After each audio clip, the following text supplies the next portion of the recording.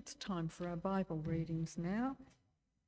Our first reading comes from the book of Isaiah in the Old Testament, uh, chapter 23, beginning at verse 1. Isaiah 23, starting at verse 1. A prophecy against Tyre. Wail, you ships of Tarshish, for Tyre is destroyed and left without house or harbour. From the land of Cyprus, word has come to them. Be silent, you people of the island, and you merchants of Sidon, whom the seafarers have enriched. On the great waters came the grain from Shihor. The harvest of the Nile was the revenue of Tyre, and she became the marketplace of the nations. Be ashamed, Sidon, and you fortress of the sea, for the sea has spoken. I have neither been in labour nor given birth. I have neither reared sons nor brought up daughters. When the word comes to Egypt, they will be in anguish at the report from Tyre. Cross over to Tarshish. Wail, you people of the island. Is this your city of revelry, the old, old city, whose feet have taken her to settle in far off lands? Who planned this against Tyre, the bestower of crowns, whose merchants are princes, whose traders are renowned in the earth? The Lord Almighty planned it, to bring down her pride in all her splendour and to humble all who are renowned on the earth. Till your land as they do along the Nile, daughter Tarshish, for you no longer have a harbour. The Lord has stretched out his hand over the sea and made its kingdoms tremble. He has given an order concerning Phoenicia that her fortresses be destroyed. He said, no more your revelling, virgin daughter Sidon, now crushed. Up, cross over to Cyprus. Even there you will find no rest. Look at the land of the Babylonians, this people that is now of no account. The Assyrians have made it a place for desert creatures. They raised up their siege towers. They stripped its fortresses bare and turned it into a ruin. Wail, you ships of Tarshish, your fortress is destroyed. At that time, Tyre will be forgotten for 70 years, the span of a king's life. But at the end of these 70 years, it will happen to Tyre as in the song of the prostitute. Take up a harp, walk through the city, you forgotten prostitute. Play the harp well Sing many a song so that you will be remembered. At the end of 70 years, the Lord will deal with Tyre. She will return to her lucrative prostitution and will ply her trade with all the kingdoms on the face of the earth. Yet her profit and her earnings will be set apart for the Lord. They will not be stored up or hoarded. Her profits will go to those who live before the Lord for abundant food and fine clothes. Our second reading is from the New Testament from the book of the first book uh, of Timothy, beginning at, at uh, chapter 6, beginning at verse 6. So 1 Timothy 6, beginning at verse 6.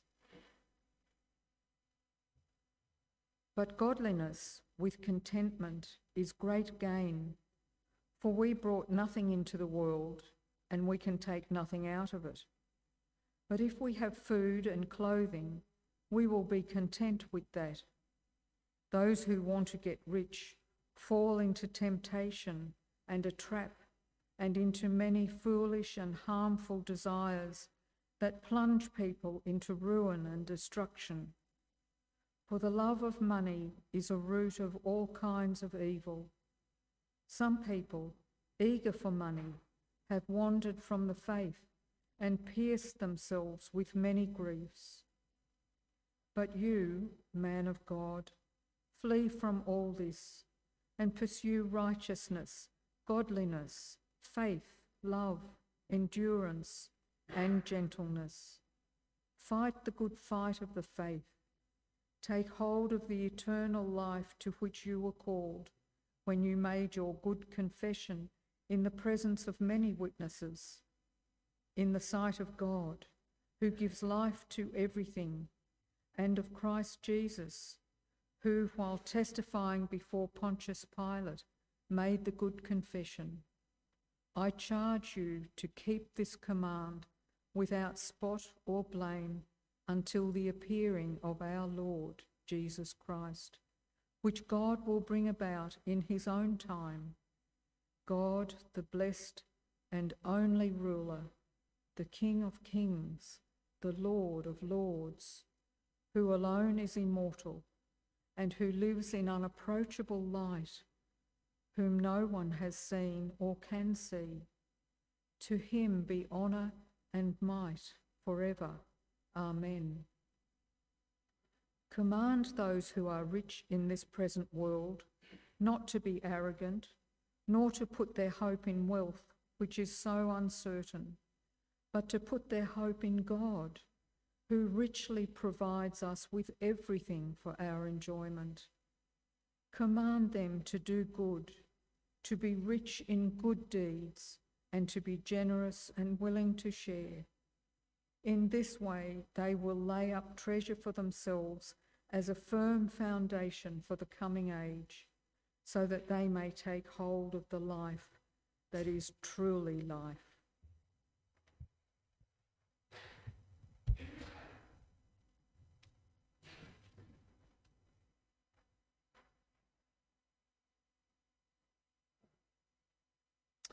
Good morning, everybody. Thank you for those who have been really worried about me with my wife and child being overseas. And I've had so many offers of meals and dinners and company. It's um, I feel so loved, but I also it, it is a big house that I live in, and I can now hear the clock ticking. Um, I don't normally hear that, but I also realize it's what it's the life that many of you also have normally. So um, I remember that.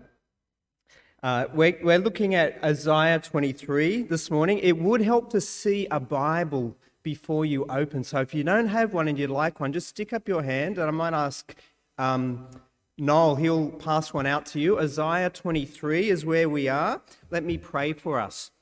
Father, we pray you would open our eyes so that we can see your sovereign care over us. And we pray now that you'd speak to us through the preaching of your word. In Jesus' name, amen.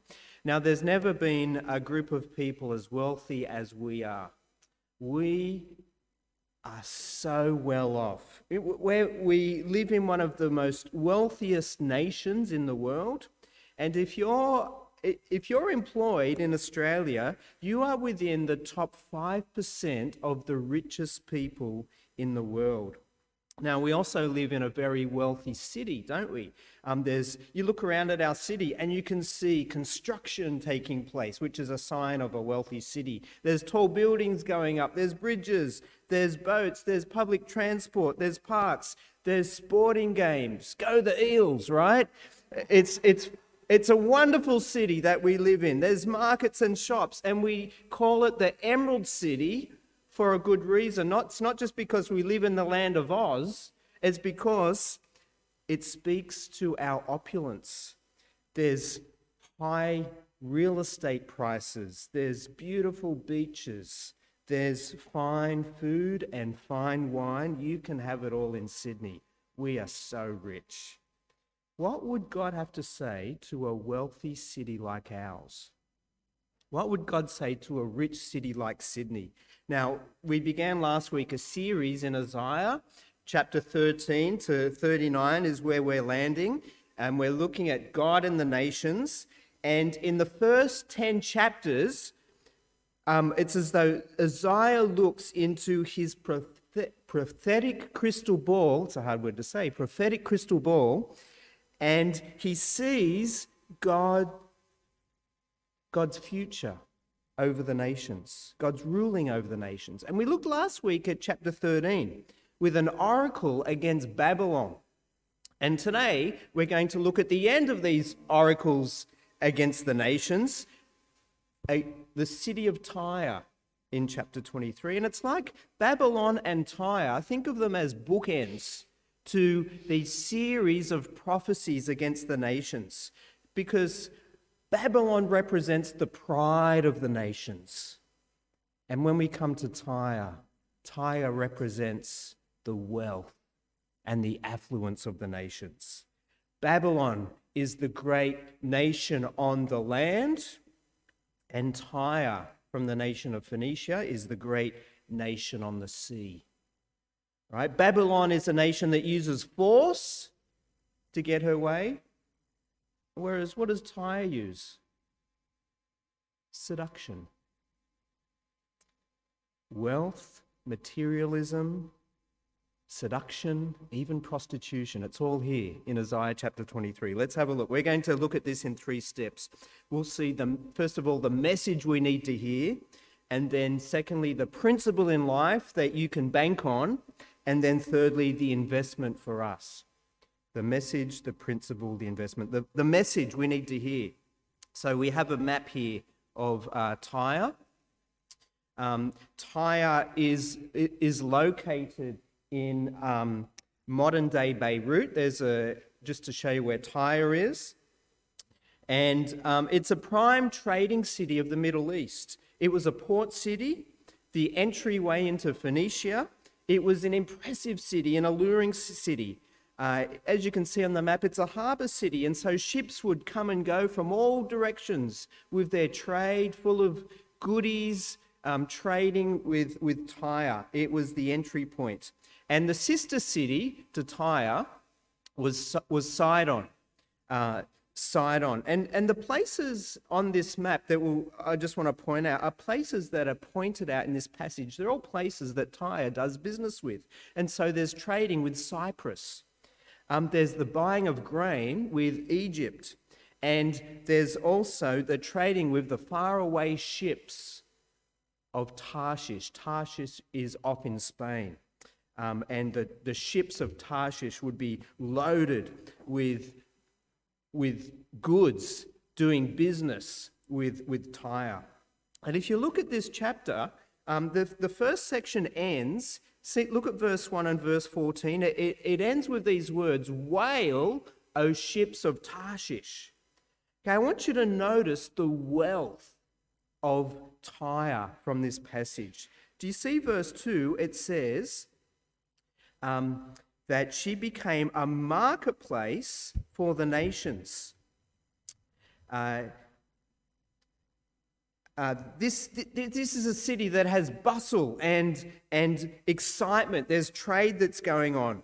Um, this is like the New York City of the nations. In verse 7, we read that she is the old, old city whose feet have taken her to settle in far away lands. Okay, businessmen would travel far and wide from Tyre.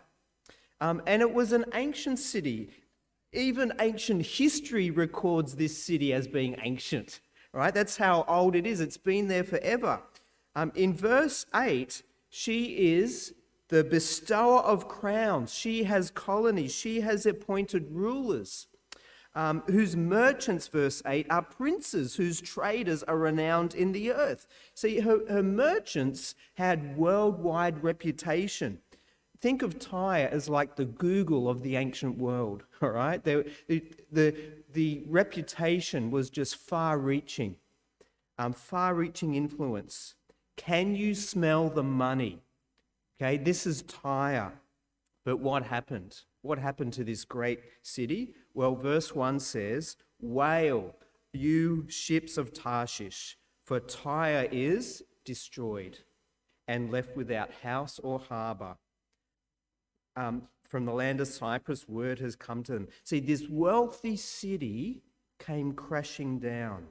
And as you keep reading this chapter, um, it, it's, it's a picture of news traveling fast. Okay, it's an image of the global reaction of Tyre's downfall. Okay, verse 1 again, first the island of Cyprus. Here's the news, right? And, and the word comes to them. And then the city of, of Sidon hears the news, and they're stunned into silence. Verse 4, we read Be ashamed, Sidon, and your, you fortress of the sea, for the sea has spoken. I have neither been in labor nor given birth. I have neither reared sons nor brought up daughters. It's as though Tyre has never existed, wiped out, as though they've had, never had any children. Everything is just gone. And then the news, so the news reaches uh, Sidon. It then goes to Egypt. And in verse 5, we read, They will be in anguish, anguish at the report from Tyre. And the news then crosses over to the far, far away Spanish city of Tarshish. Everyone is affected by this news. Why? Because all these economies are linked. Okay, we, we think we live in a global world now, don't we? Where, you know, the, a war in the Ukraine can stop grain exports from that country, which has an economic impact on us here in Australia. We live in a global world, but this too was a global economy, and these nations are feeling the pain of the fall of Tyre. They're all joining in mourning for Tyre. Uh, this great economic city with all its global reach, it's finished. The city has become bankrupt. The, think of the markets are, have crashed down. As it's as though the world has plunged into a depression. It's like Black Friday. Black Friday, when Wall Street crashed. This is like the global economic crisis. This is the end of an era.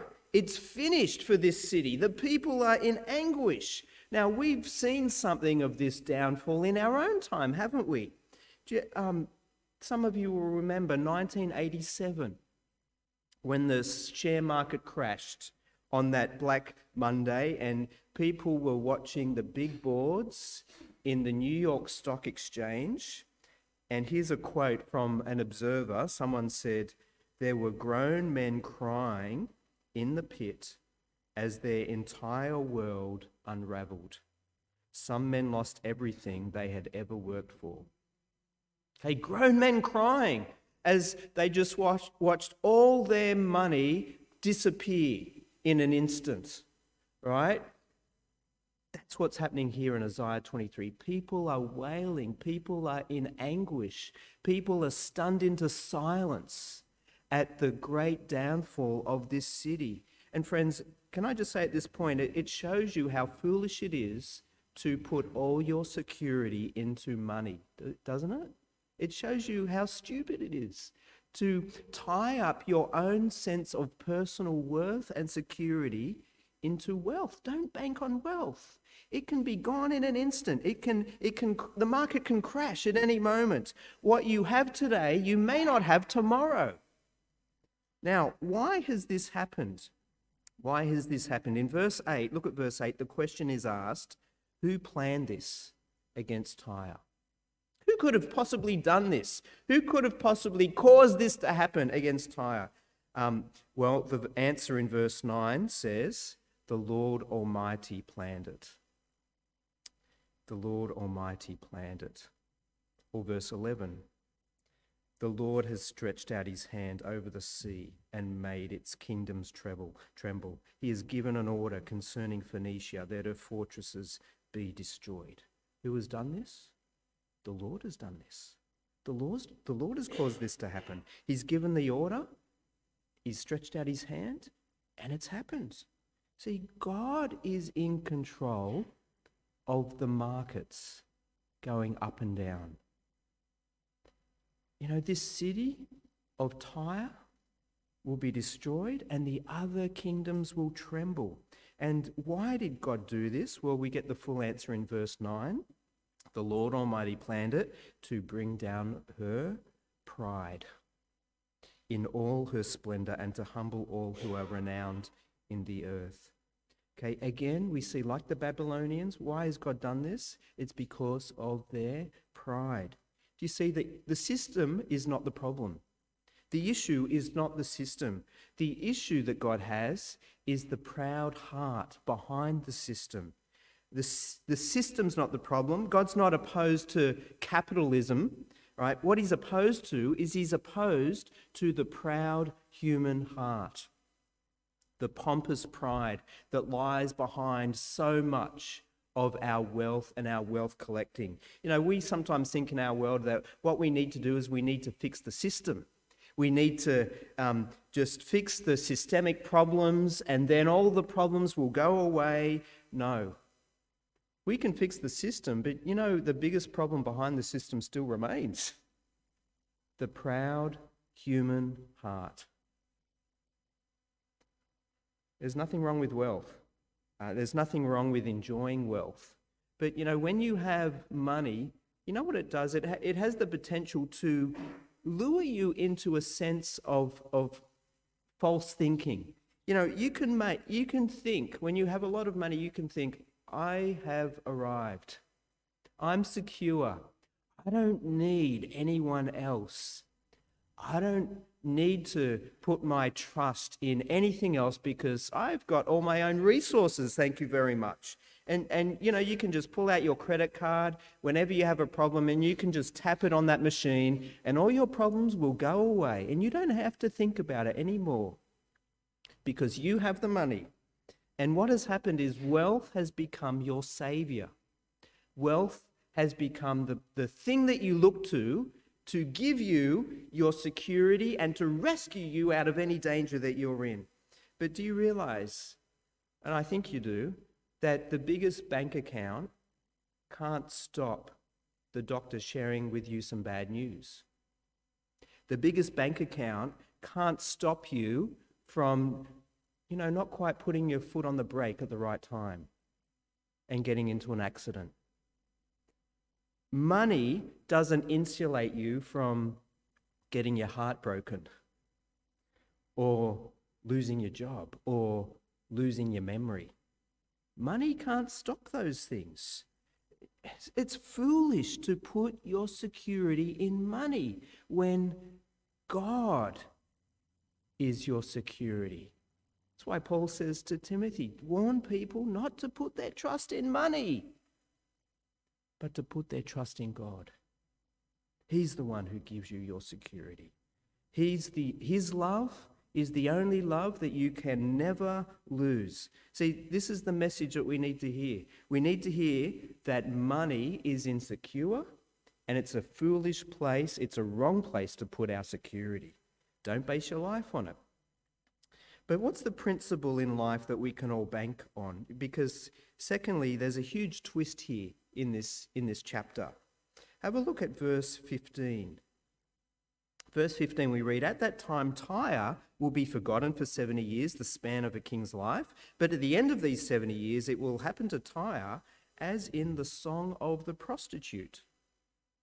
Take up a harp, walk through the city, you forgotten prostitute, play the harp well, sing many a song, so that you will be remembered.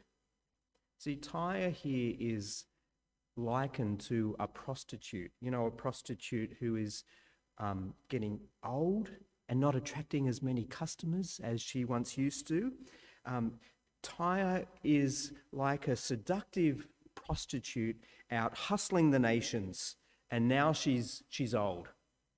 No one wants her anymore.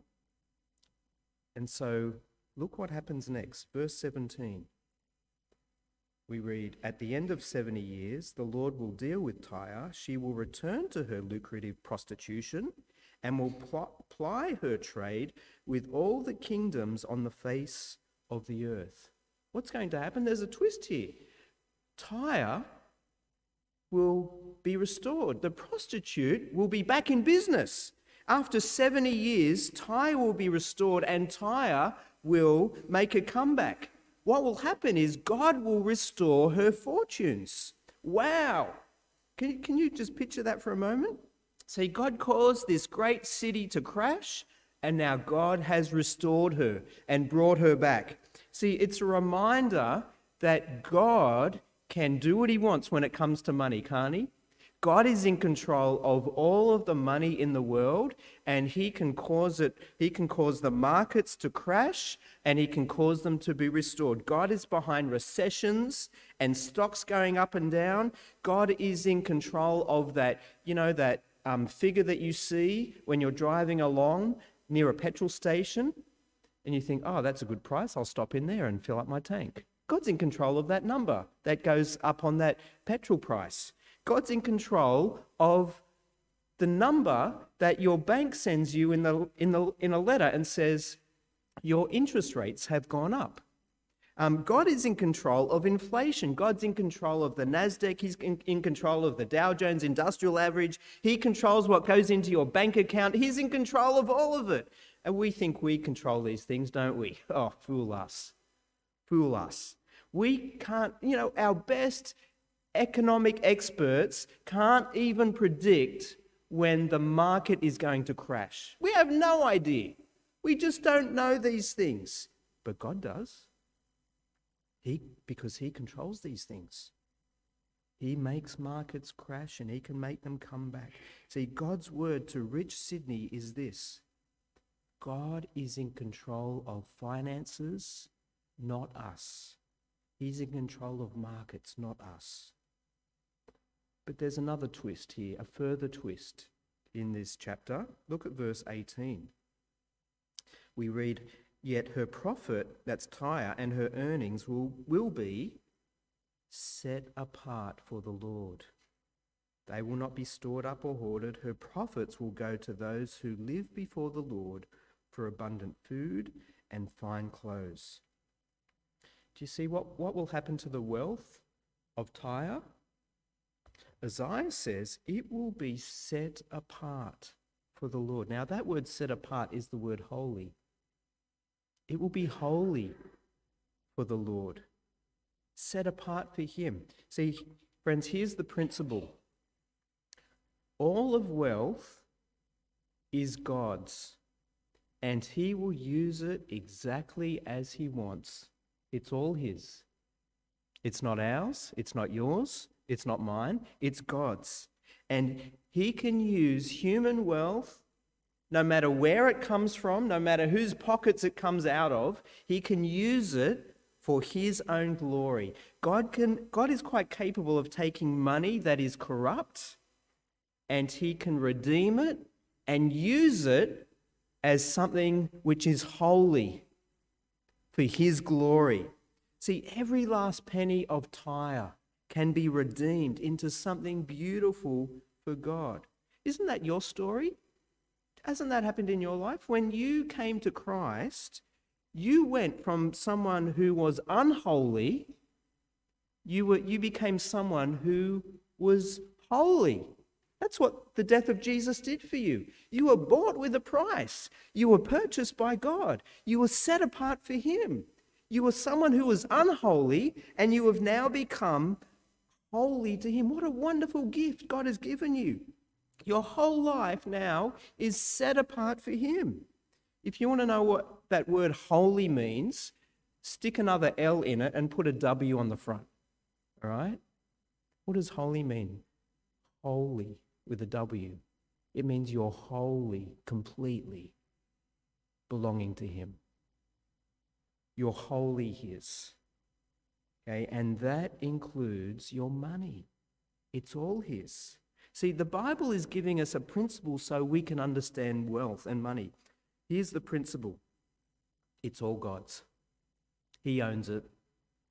Every little last piece of it, it's His. Every little possession that you have, it belongs to Him. Every little cup of coffee that you buy for yourself, that is a gift from God. That's, it's using God's money to buy something for yourself. Right? It's all God's.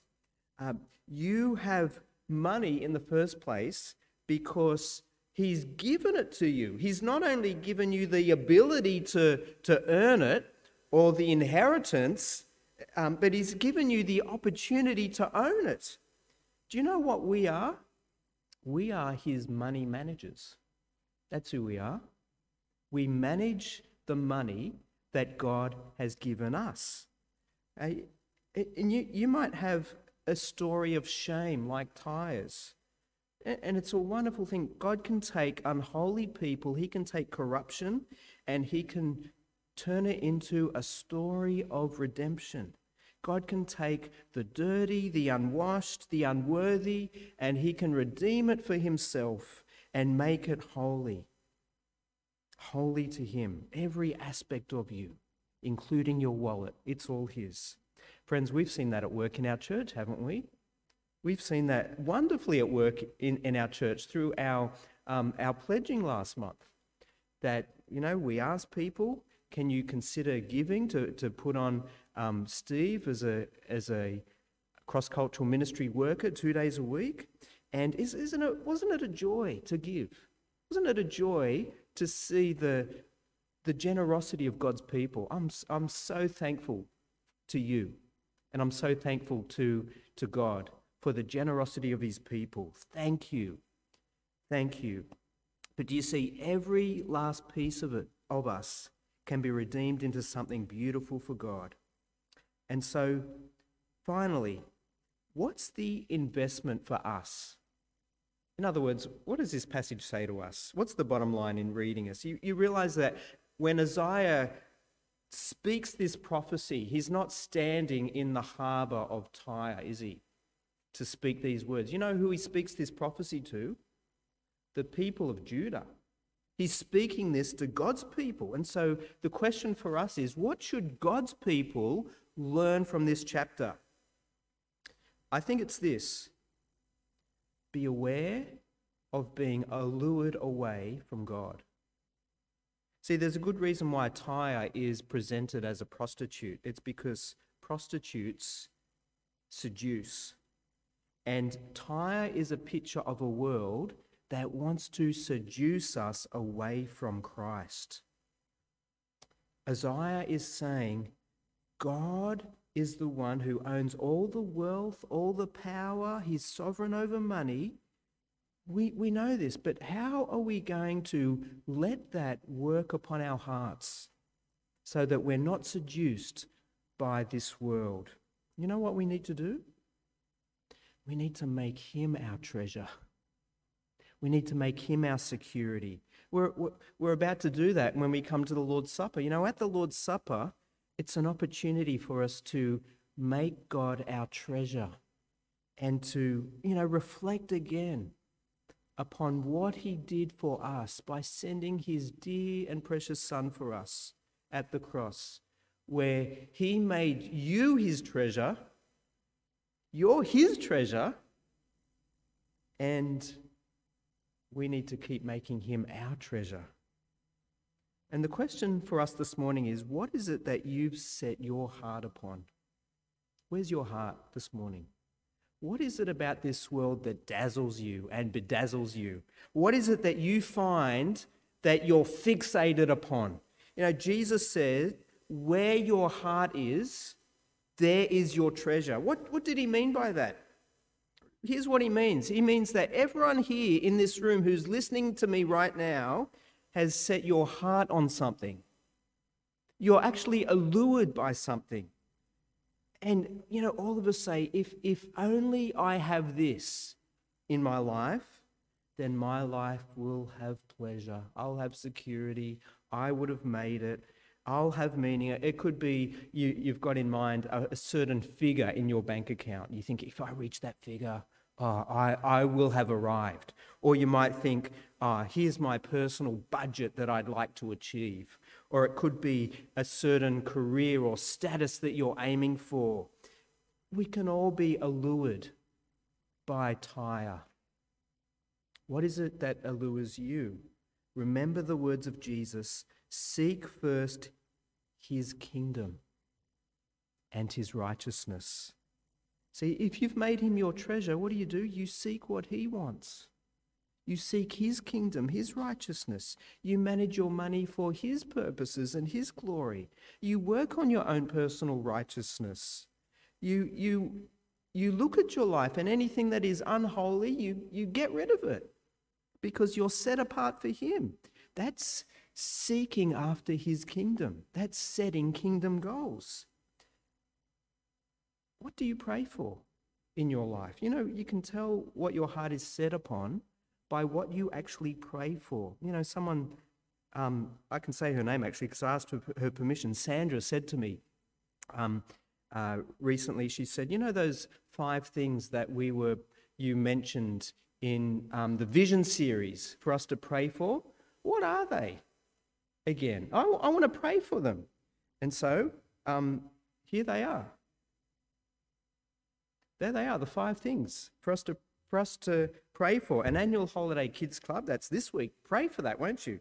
Growing our youth group, an after school kids club, 50 new people to become Christians, another morning church and evening church. These, these are the things to, to pray for over the next five years. Now, I'm not saying that you need to be praying for these things to show that you're seeking after God's kingdom. No. But I, I just want to tell you be like Sandra. You know, she wanted to pray for these things, and I think it shows where her treasure is. What do you pray for? What are you seeking after? What do you think about all day? What do you worry about? What is it that you don't have that makes you unhappy? See, if you truly treasure God, He's your security. You can look to Him to provide. So seek first His kingdom, His righteousness. Let me pray for us.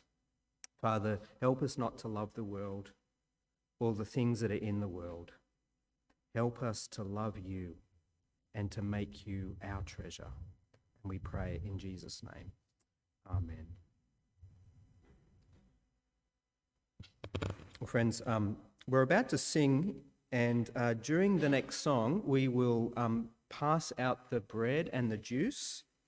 And um, when, um, when you take the bread and the juice, hang on to it um, because we'll eat and drink together. This is an opportunity for us to reflect and remember what the Lord Jesus Christ has done for us. We do this in fellowship, we do this together.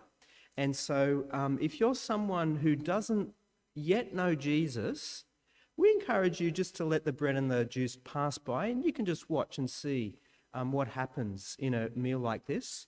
Um, but for all of us, let's stand and sing, and the bread and the juice um, will be passed out.